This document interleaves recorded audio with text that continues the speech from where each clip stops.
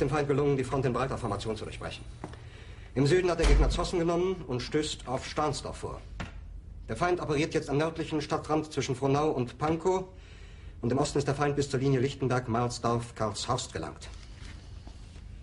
Mit dem Angriff Steiners wird das alles in Ordnung kommen. Mein Führer, Steiner. Steiner konnte nicht genügend Kräfte für einen Angriff massieren. Der Angriff Steiner ist nicht erfolgt.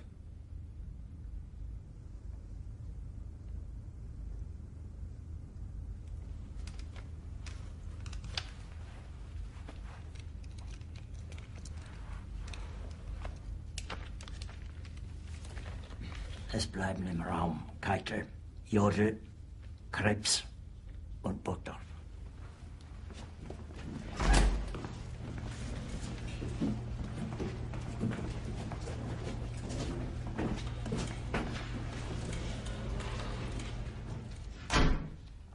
War ein Befehl! Der Angriff Steiners war ein Befehl! Wer schickt Sie? Dass Sie es wagen, sich meinen Befehl zu widersetzen! So weit ist das also gekommen. Das Militär hat mich belogen! Jeder hat mich belogen, sogar die SS! Die gesamte Generalität ist nichts weiter als ein Haufen niederträchtiger, treuloser Feiglinge! Mein Führer, ich kann nicht zulassen, dass die Soldaten, die für Sie verbringen... Nicht als Feiglinge! Verreiter, Versager! Mein Führer, was Sie da sagen, ist ungeheuerlich. Die Generalität ist das Geschmolz des deutschen Volkes! Sie ist ohne Ehre! Sie nennen sich Generale, weil Sie Jahre auf Militärakademien zugebracht haben, nur um zu lernen, wie man Messer und Gabel hält! Jahrelang hat das Militär meine Aktionen nur behindert! Es hat mir jeden nur den Widerstand in den Weg gelegt! Ich hätte gut daran getan, von Jahren alle höheren Offiziere registrieren zu lassen, wie Stalin!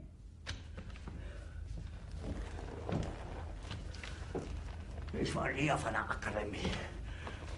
Und doch habe ich allein, allein auf mich gestellt, ganz Europa erobert.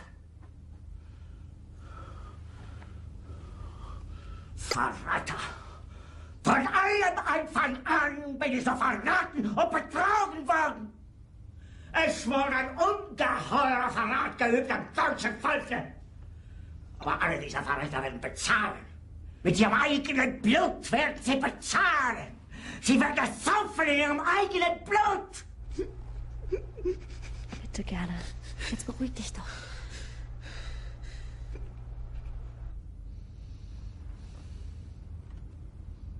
Meine Befehle sind in den Wind gesprochen. Es ist unmöglich, unter diesen Umständen zu führen. Es ist aus.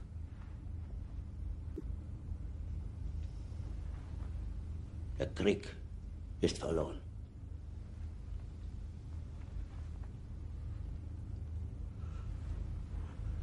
Aber wenn Sie, meine Herren, glauben, dass ich deswegen Berlin verlasse, irren Sie sich gewaltig. Eher jage ich mir eine Kugel durch den Kopf.